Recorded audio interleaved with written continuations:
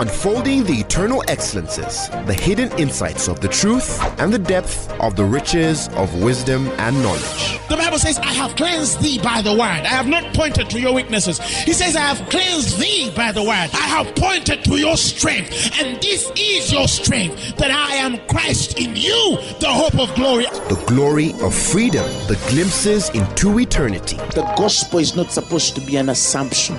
It's not supposed to be just a mere presupposition. Truth is older than language, but the Word of God is way deeper than any human language. And now, Apostle Grace with the Word. We're taking our reading today from the Gospel of St. John, the sixth chapter, from about the 25th verse. The Bible speaks of how the disciples, people, a multitude, was following after Jesus, they found him on the other side of the sea. And they said unto him, Rabbi, when comest thou thither? When did you come here? I believe they were looking for him. And then they asked, When did you come here? And the Bible says in the 26th verse, And Jesus answered to them and told them, Verily, verily, I say unto you, you seek me not because ye saw the miracles, but because you did eat of the loaves and were filled. You did eat of the loaves and were filled.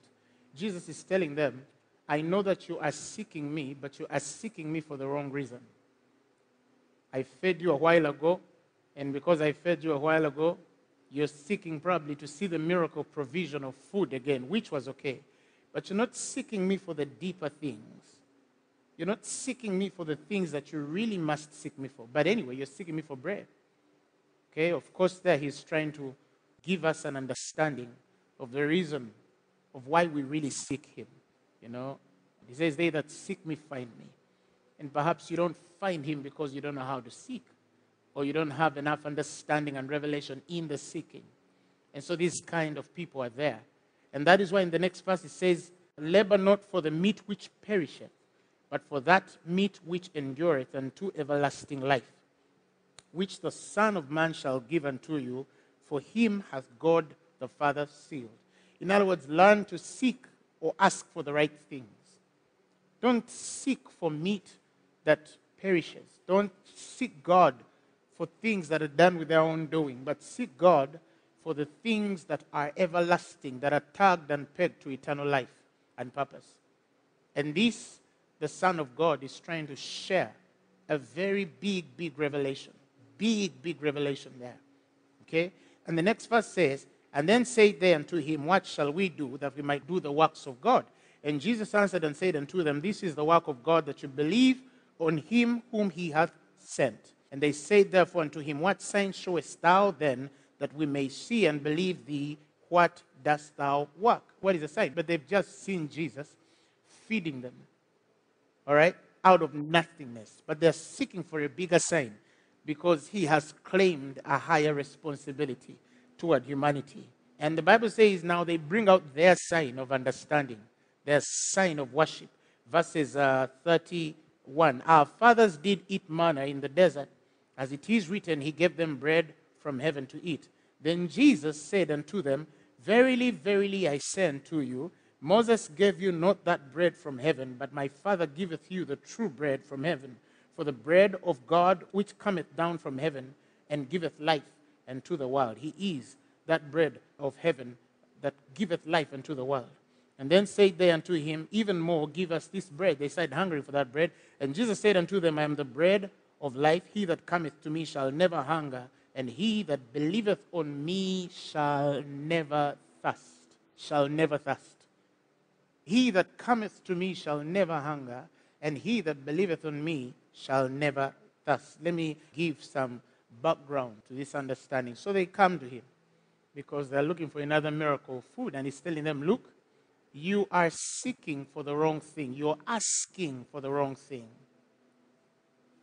Don't seek me for the things that perish. Don't seek me for the food that is done with its own doing. Seek me for things that are eternal. Seek me for meats that are tagged to eternal life.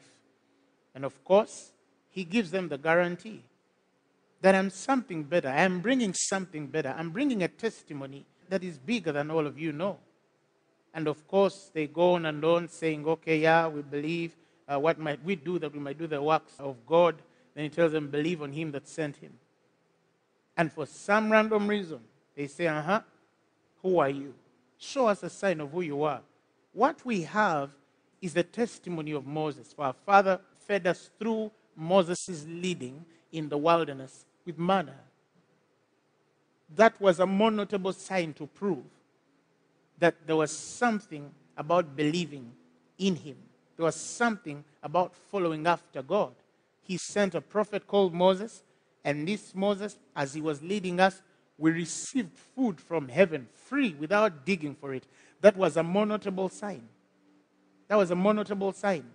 And I want you to go back to why they're asking for something connected to that. Remember, they did not come to Jesus Christ for a deeper miracle. No, they came to Jesus Christ, like the Bible says, for meat. So, because they have seen God manifest Himself through the provisions of food, they believe if there has to be a space of believing Him, He has to use that way. He has to come through that pattern. He has to come through that principle. That is the way they know how. That is the most notable the children of Israel for many years, you know, for a long time, were eating free food. So they're saying, look, yeah, you did a miracle of giving us food for one day. But God, through Moses, did way bigger than that. He fed our fathers for more than 40 years.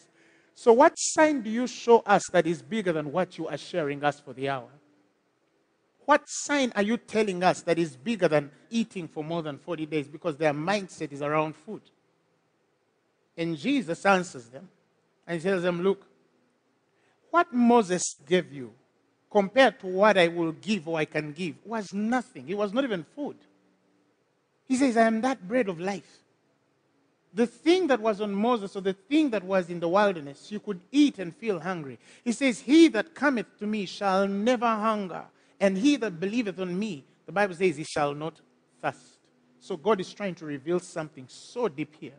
And here is the reality of Revelation it's inevitable, it's important, it's of necessity that every believer discern the variations between the provisions of a specific season and those that sustain or nourish eternal purpose. I'm going to repeat it again. It's a very inevitable thing for every believer to discern the variations between the provisions of a specific season and those that nourish or sustain somebody for eternal purpose. What do I mean by that? Those two are different. When we are talking about God providing or divine providence, we have to be able to separate the provisions of God that are available for a season to fulfill a specific purpose in their doing, and the provisions of God that are connected or that sustain and nourish eternal purpose. Some provisions are seasonal. They're for their own season and therefore their own doing. And some provisions are connected to eternal purpose. They sustain and nourish your course on earth. And without them, you're short circuited in the ministry of God concerning your life, regardless of whether you're the preacher or minister like I on a pulpit, or you minister in any other way at your workplace, at your job, or whatever, because all of that is done to the glory of God, and not all are called to preach on the pulpit like I. Hallelujah. And the wisdom to discern the difference is one of the greatest glories in the understanding of the ways of God. I have seen people who are seeking temporary seasonal provisions for the sustenance and nourishment of eternal purpose. And I have seen people who have attended to the provisions that nourish eternal purpose as though they were simply provisions of a specific season. And that happens in every aspect of our life. People, friends, there are people God has set in your life, for example, and they're just supposed to be in your life for a season. And after that season, they either will let you go or you will let them go, or circumstances will separate the two of you. good or bad? And I pray good. But there are people who are covenant friends. There are people, God knows that these will never leave your side. Because according to the eternal plan concerning your life, they have a part and a space to fulfill in your life that is bigger than the conditions of the hour. And the wisdom to know the difference is the beginning of walking in the perfect will of God concerning your life. Why? Because you can stick on a relationship that was supposed to be seasonal and try to build it as though it is connected to eternal purpose. And with that, you're going to be destroyed. But likewise, there are people who have broken relationships that nourish or sustain a bigger part of their life course and destiny, and they have destroyed that relationship and assumed that that relationship was for a season because they think that the present circumstances either explain this too. No, it's not the present circumstances that explain this too. It's wisdom. It's the revelation of our destinies. When Naomi had lost her sons, and then she let her daughters in law go, Ruth had a choice. Ruth had a choice of going back to our own people. But the scripture said she asked, she entreated Naomi that she might not leave her or depart from her. She told her, I will follow after you. Wherever you will go, I will go. Wherever you will lodge, I will lodge. Your people shall be my people. Your God shall be my God. If Ruth had gone back to her people as the culture had desired of that time, she would have been disconnected from a bigger eternal purpose. But by the wisdom of God and revelation of this mystery, something in Ruth tells us stick on this woman because there is something on your life that is connected to her life, and without her life, the fulfillment of your purpose on the earth will not manifest, it will not be seen. Again, I said, it takes revelation and wisdom to tell the difference. That does not only work in human relationships, it works even with our careers. Some people are in careers and they've gotten in a season where they have gotten to the end of the provisions that must follow that career. And after that, they no longer feel the grace that will spend them in that office. But maybe because of the income, maybe because of the other obligations of loans and debts and all these things, they find themselves stuck in jobs where they should have moved on long ago. So the provision and grace of that season was for that particular job. And the end of your purpose at that job has come, but you have stuck there because you see no way through. And because of that, some of you are out of God's will and purpose.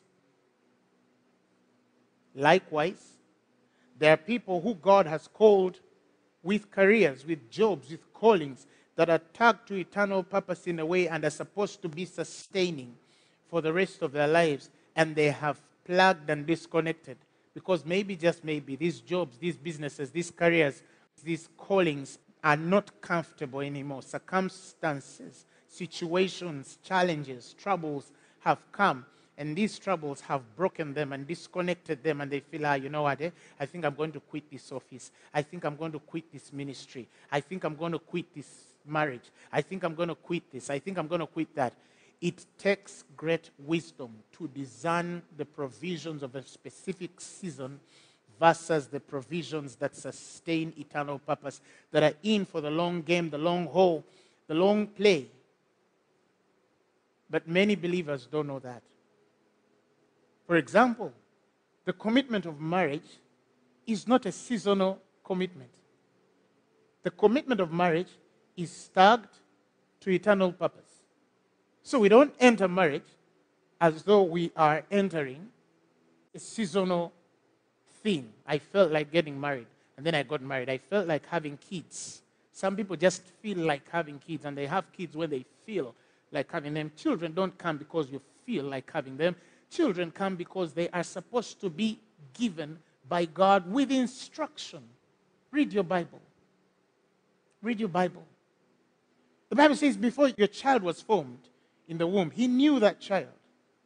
And he had a calling for that child. He had a destiny for that child.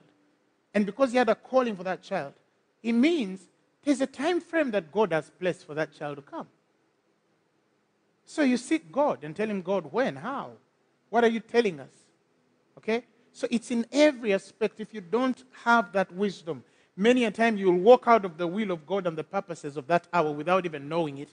And before you know it, certain things start working contrary to each other because the Bible says in Romans, all things work together for good for them that love Him and are called according to His purposes. And you are tuned out of purpose. Your acoustics are bad in the spirit. Why? Because you are not in the right lane of the spirit. So it takes great wisdom and counsel to understand the difference. And so, even in scripture, we see certain provisions that are seasonal. I will give you an example. When you look at the provision of manna, the one we're reading about, it was supposed to be a seasonal provision, not an eternal provision. It wasn't tagged to eternal course of provision. It was not supposed to be sustained for as long as humanity lived. No. The Bible says in Joshua chapter 5, verses 12, the manna ceased on the morrow after they had eaten of the old corn of the land. The moment they enter Canaan and they start eating of the food of Canaan, the Bible says God ceased to give them manna. Neither had the children of Israel manna anymore, but they did eat of the fruit of the land of Canaan that year. That means the provision of manna was available only in the time, in the period, in the frame of their move from Egypt to the promised land. In the wilderness, manna was a provision. But the moment they transitioned from the wilderness into the promised land, the provisions of manna were no longer sufficient nor necessary for that hour. But see how they enter the promised land and they start digging. They start tilling the ground like normal people do. And so somebody might think that there was a deeper glory in the wilderness because whatever I ate, I ate without the expense of my sweat. And now here I've entered into the spaces of God's promise and I see effort. I see a straining of things. I see an exercising of life in this. Is this really the will of God? Because some people think that the perfect will of God is supposed to be the space where there's no effort, there's no work, there's no, you know, commitment to a thing. That's a lazy Christianity, a laxity of spirit and a dullness of the soul. But some believers are like that. So when they start digging, they say, uh uh-uh, this is not where I'm supposed to be. I'm supposed to be where it's falling. But remember, the Bible says they call it manna because they knew not what it was. That means that they were in a constant provision in a season of a thing that was nourishing them, but they did not carry a revelation and understanding of what it was. Till now, it's called manna, meaning we did not know what it was. It carried an obscurity in identity because it was not the setting place of God's destiny for the children of Israel. They needed to transcend as a people into spaces of lands where they could identify and call and have a name and an identity of the provisions of God. But some were short sighted in understanding that God was only preserving them in this period to take them to where the promise is. And once they enter that promise, they're supposed to rebuild a nation as it must. But they didn't have that understanding that God was trying to build a nation through them. Remember, even in the wilderness, they're missing the onions, the garlics, the leeks, and cucumber that they were eating in Egypt. They're saying, oh, we missed. So they would rather go back in bondage than eating something they know not as a provision for the hour and season of that time as God is transitioning them into the place of the promise. That is why the church should emphasize the doing of the process. Because many Christians are seeking and are asking for a product without respecting the process of that product. And as generations evolve, it's becoming even more complicated. The younger folk, they don't like working. They want to graduate tomorrow and then become, you know, the executive director of an institution, but they don't understand the things that make the people that stand in those offices. And now we're in a hard pressed circumstance in our dispensation to now tell our young people learn to work hard Learn to be dreamers. Learn to invent and innovate. Learn to do things that bring glory to God. Learn to understand that He will bless the works of your hands. He doesn't bless nothingness. You're not just going to sit in your home and then wealth comes. No, it doesn't happen that way. But that doesn't mean that because you've read in the Bible, oh, how, you know, Jacob was a tent dweller, so you wake up in the morning, you dwell in tents, watch TV, you know, sleep anytime you want, wake up anytime you want, and somehow money is going to come to you. Even pastors, preachers, even if you're a man of God, think of an alternative source of income. Because in this season, for example, where the churches are closed, for those of you that were, you know, relying on the baskets, how are you feeding? You know, how are you feeding? Oh, because that's what you call divine providence. No, that's not divine providence. That's another thing. You have another thing. And may the Lord help us to discern this. So we see that manna was only available in the time when they were in the wilderness, in the spaces of testation. They were not even supposed to stay in the wilderness for a long time. In fact, they did not go through the way of a Philistine, which was a shorter route. If they had gone that way, they would have gotten into the promised land about 12 or 14 days after. But it took them 40 years and 38 of those years around Mount Seir. You understand? But to God, He's only providing something they know not because He wants to lead them to a space where they ought to know. It's important to know what you're eating. It's important to understand what gets in you, whether spiritual, physical. Some people allow everything to get into their soul. Some people allow everything to enter into their spirit. Some people allow everything to enter into their body. They eat anything, everything, how they want it. You know, it's wisdom to know. It's wisdom to know. In 1 Kings chapter 17, verses uh, 14, there's a story there of a widow of uh, Zarephath. Some of us know the story of how, through the prophet Elijah, God leads him to a particular widow. And uh, in the 14th verse, the Bible says, Elijah now is speaking to this woman. For thus saith the Lord God of Israel, The barrel of meat shall not waste, neither shall the cruse of oil fail until the day that the Lord sendeth rain upon the earth. You know, if I can take us back to the story, famine had hit the earth by the command of Elijah, the prophet. Okay? And uh, during that time, people were lacking food. So he comes to this widow and tells her, Give me your food. If you do, I promise you that you will not lack again for this season until the rains come. And so this is the promise he gives her that if you obey and give me a portion of your bread and oil. He tells her that the barrel of meat shall not waste, neither shall the cruse of oil faint until the day that the Lord shall send the rain upon the earth. And the 15th verse, she went and did according to the saying of Elijah, and she and he and her house did eat many days. And the barrel of meat wasted not, neither did the cruse of oil fail according to the word of the Lord which he spake by Elijah. But remember, until the rains come. So the provision of that widow was to be sustained only for the season in the time when the whole earth was under a famine or drought or lack of food. She was supposed to have a continuous provision until the coming of the rain, when the rains are released. So we see that even though the Lord had released that as a provision, it was subject only until the rains returned.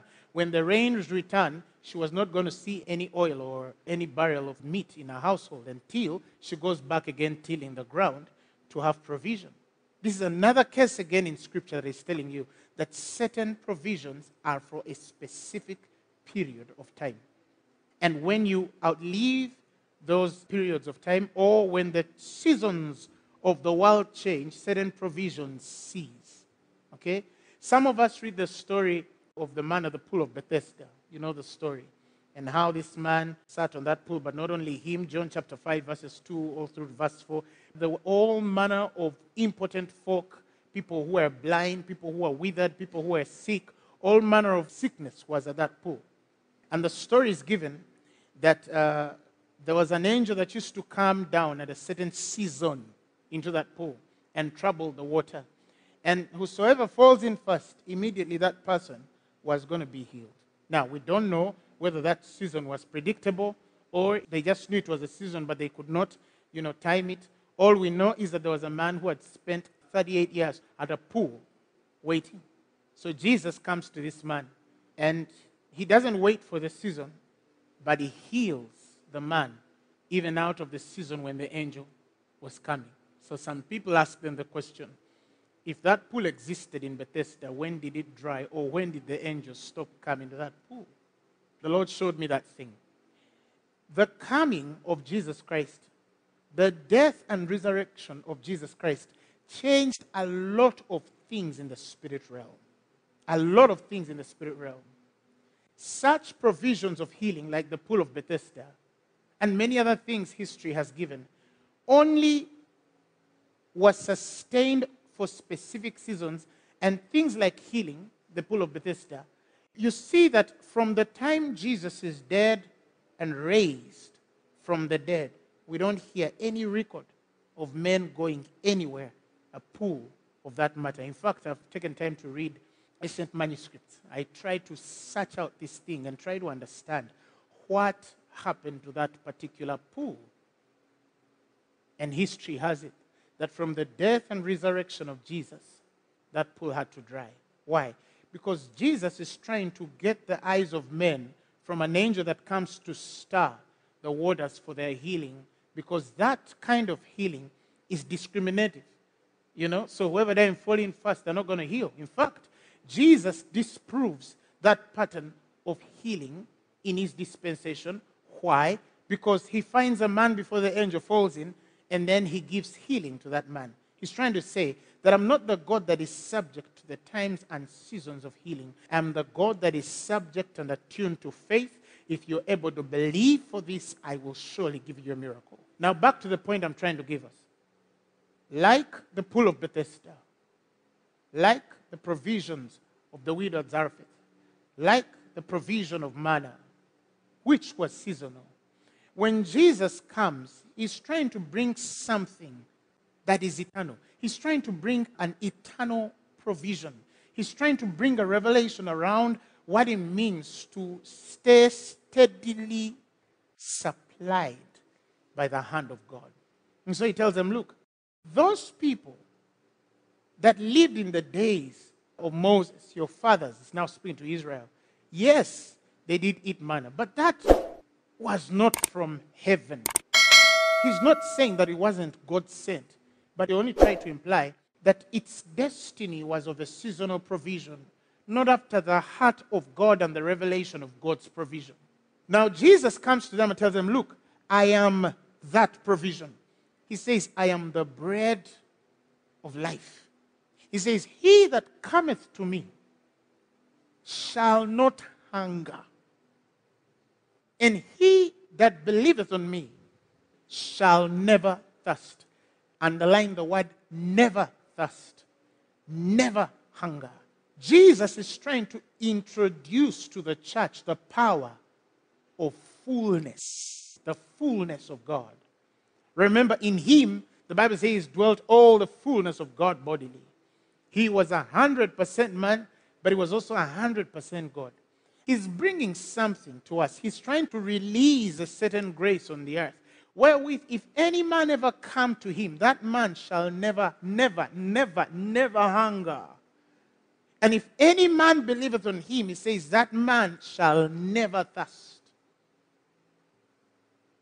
So, yes, we are speaking about provision, not just financial but any other aspect of provision, whether you're talking about the supply of graces, anointings, glories, wisdoms, peace, divine health, and all these other things. Jesus is trying to tell us that when you say that you're coming to me, I should not remind you of the seasonal provision of the widow of Zarephath. No, I'm supposed to remind you of an ever ending flow of provision, wherewith you shall never hunger nor thirst again. You shall never hunger nor thirst again. In other words, you will never lack. Whatever you will need shall be available for you. If you ever need healing, it shall be available for you. If you ever need deliverance, it shall be available for you.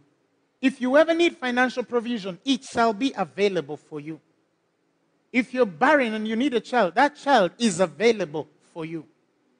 If you're believing God for a spouse, that spouse is available for you. If you're believing God for provision in your ministry, that provision is available for you. You need to see it. And it's not available for you only for a season. One day, a fellow comes to me once and told me, you know, when we just started Phaneroo years ago, he told me, you know, these things don't last for three years or more. They are usually one or two, at most three. So he told me, for your congregation where you're sitting five, ten thousand, and so those are just provisionals that are just there for one to three years. By the third year, this thing will be gone. And then he warned me. So he tells me, now in this first, second, third year, store up as much as you can, invest as much as you can, save up as much as you can, you know, utilize as much as you can, maximize as much as you can, because after these three years, it shall go down. And I listened to him, and out of respect, I did not say anything. And after parting from him, I remember I went home and I laughed. I laughed so hard, so hard, I could not stop laughing. And you asked me, why was I laughing? I pictured, because I have a very creative mind, I pictured the devil looking at me, and I'm laughing at him because of such a stupid statement concerning the kingdom of God. And I started talk to him. I said, Devil, you're so, so, so, so, so weak in your mind. How would you think that you could speak to me that way? How would you think that I would underrate and underestimate the power and provisions of God to make me believe that God's provision of the anointing, the glory, and whatever was moving in this dispensation for me was only for three years. Where was that written? Oh, maybe he was following Jesus' story. I don't know. But you see, if you read of the Bible, Jesus did not end his ministry at three years. Jesus' ministry has never ended. No. There's a part of his ministry in the flesh, but his ministry has never ended. It has always been there. Even before he was born in the flesh, the Bible says he was the rock, he was the cloud, he was the fire by night. But it only takes a revelation to understand that the Spirit of Christ has been in supply from the beginning of the ages until the end of the ages. He is the beginning and the end. He's the Alpha and the Omega. He's the author and finisher. He has no spaces to die. There is no death within him. He is life and life only. So I laughed at the devil. And I said in the name of Jesus Christ that regardless of what has been said by that gentleman, devil, let me repeat it again before you touching the increase of his government, the things that are touching the peace of his government. The Bible says in Isaiah chapter 9, verses 7, there shall be no end. And he says, and upon the throne of David and upon his kingdom, I'll order and I will establish it. So we are in a constant provision of God to order our steps according to his will and purposes, but also to establish us even as he orders our steps. So wherever your step goes, he establishes you. Wherever you put your next step, he establishes you. Every year we have seen not only the establishment and ordering of the Holy Spirit, but we have seen the increase and peace of this ministry. And guess what? Until Jesus returns, it shall be so and not otherwise. Why?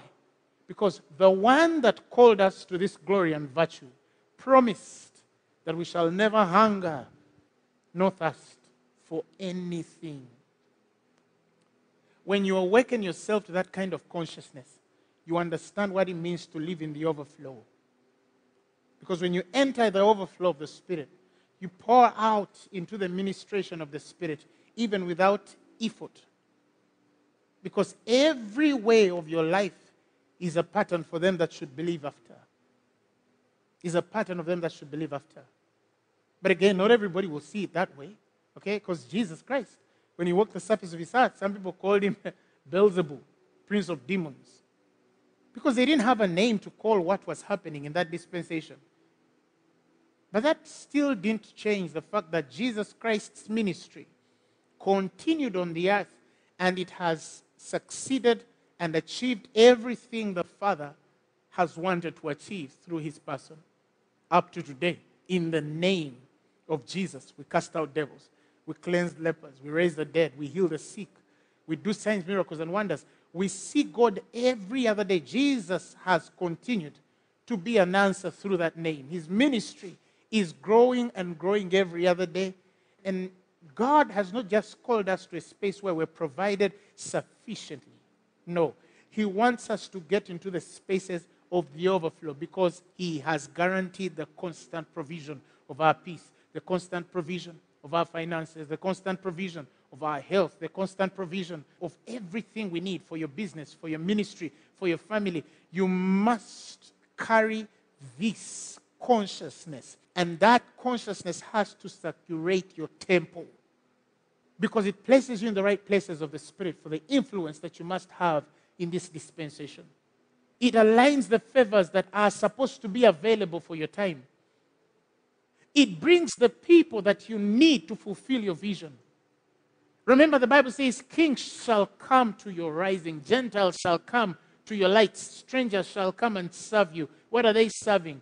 The vision of the overflow, the vision of the overflowing spirit because it carries the awakening every other day and the constant assurance that every minute of its life is a provision to the world. It's a gift to the world.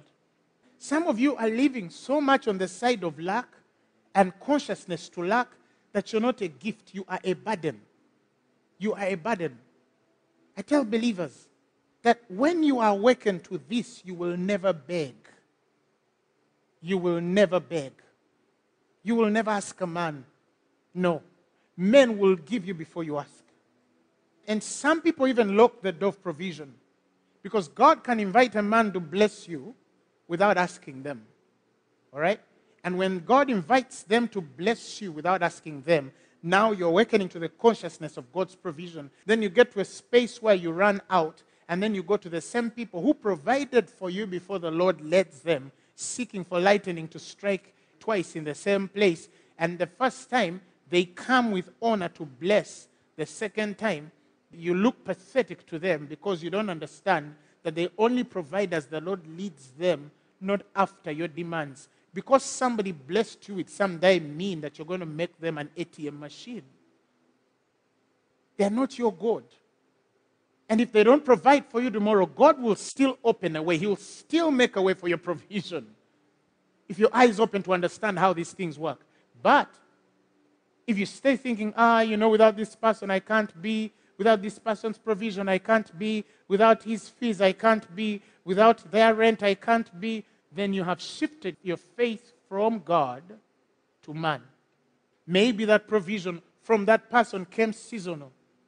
And then you took that seasonal provision for granted as to think that you'll manipulate your way again to that individual for provision because once that door opened to you.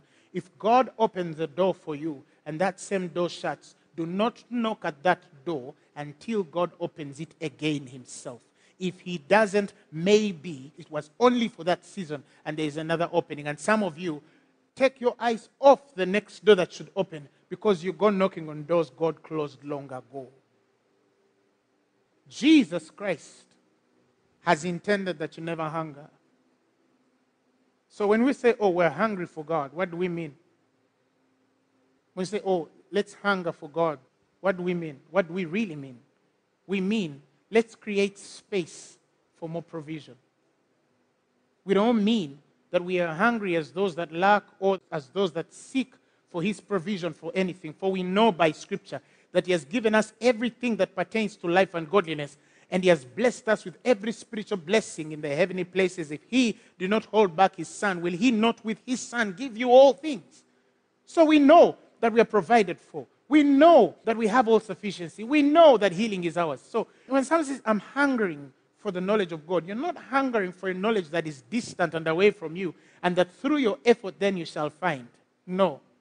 You are hungering as one who is saying, I am creating more space for what you've already availed in God, because everything that pertains to life and godliness is present and available for you. Hallelujah, glory to God. So when we say we're thirsting, we're not thirsting as those who are thirsty. We're thirsting as those who already are supplied, but we are creating more space. We're enlarging our tents for the deeper infill and flow of God's power and working and wisdom and glory and anointing in our lives because God can only fill the spaces you provide for. That's hunger. That's hunger. Some people get satisfied so early. And they do that only because they're ignorant of what God can do. Hallelujah. Glory to God.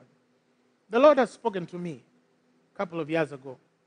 And this has been a theme of my prayer for quite some time as my spirit has been compelled to these realities that the overflow is here. And that the overflow is coming to men and women who have discerned true hunger and thirst with the consciousness of how much has already been given and available. So they are enlarging and enlarging for what is already available for them until a point where they cannot stretch further. That anything poured into them is respecting the order of that hunger and thirst. And because of that, then they enter the overflow. That miracles are going to start for many of us who understand this becoming so effortless.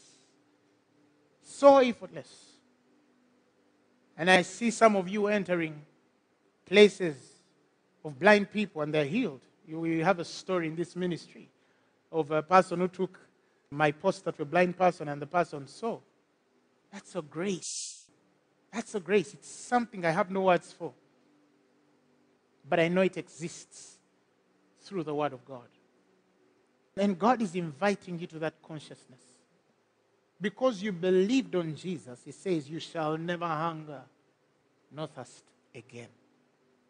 It's not your story. It's not your story. I feel the presence of God. These things, by revelation tonight, have invited you into a space where, for the rest of your life, you are going to look back from this day and see God did something so remarkable in your life today is a very defining day for many people right now that are listening.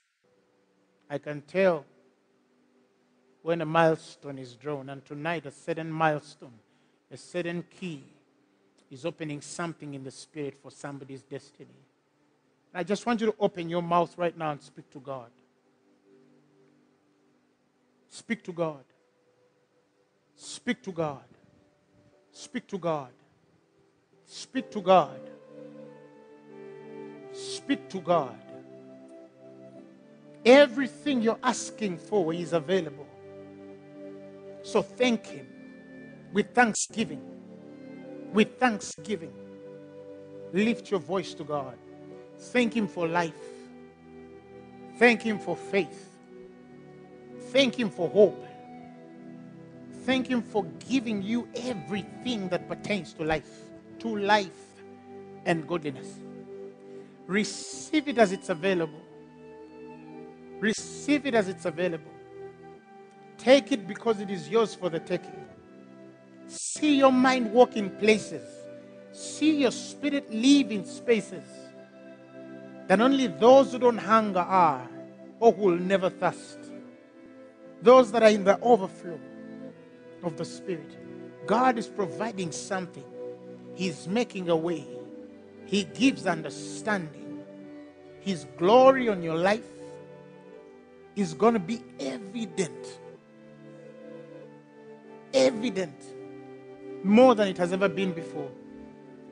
I feel healing is taking place. I feel restoration is taking place. I feel deliverance is taking place. I feel God is answering questions. I see the hand of God touching people, aligning them for their calling. I see the wisdom of God set on your life to know the things that are for the season and the things that sustain and nourish eternal purpose. I bless God because He's doing something in our lives that I have no words for. Shareko brozoloboko shakatalapa. Rika yalando roboza labako sharababako seketelebo.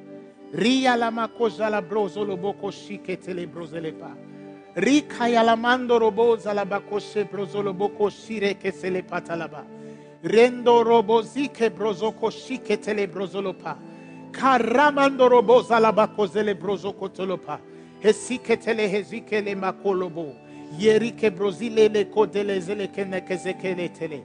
Hosapra zalando lo bozike shitelepa. Carindolobo zelebrozolobo koshi telebrozolobo. Brazeke teleproko telelemekeshile.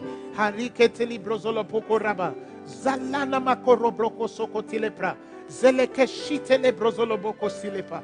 Rinde le koshinda la hasilebo. Rinda la kosike brozolobo sikehe.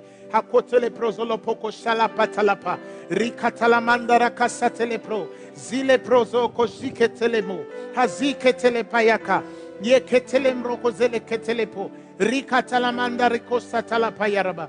Jelika prazala pakazeke poko shetelebo. Riketele mayalaba. I lean in God. I lean in God. I connect into this, oh God. I connect in a space where will never hunger nor thirst. To a place of the overflow where whatever comes through me pours out also to change the world. As it touches me, it touches the world. As it touches me, it touches my institution. As it touches me, it touches my marriage. As it touches me, it touches my relatives. As it touches me, it touches my friends. God enlarge us. Enlarge us. Enlarge us. Enlarge us. Enlarge us in your wisdom, in your revelation. In Jesus' mighty name we've prayed and believed. Amen. Hallelujah. If you have not received Jesus as your Lord and Savior, you're hungry for what you know not, and you're thirsting for what has no name.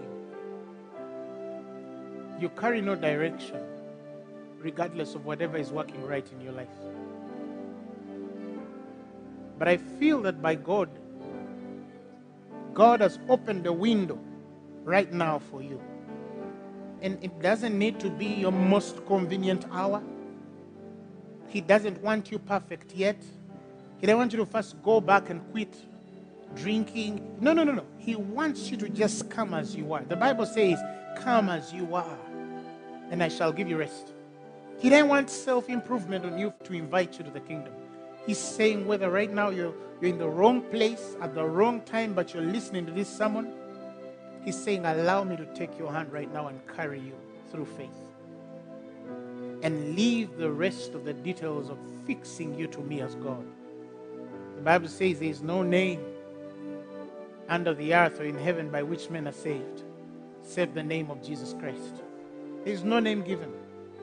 And that is the name inviting you tonight that you might never hunger, that you might know what you eat and who you have received. So you repeat these words after me from your heart. Say, Lord Jesus, I thank you because you died for my sins and was raised for my glory.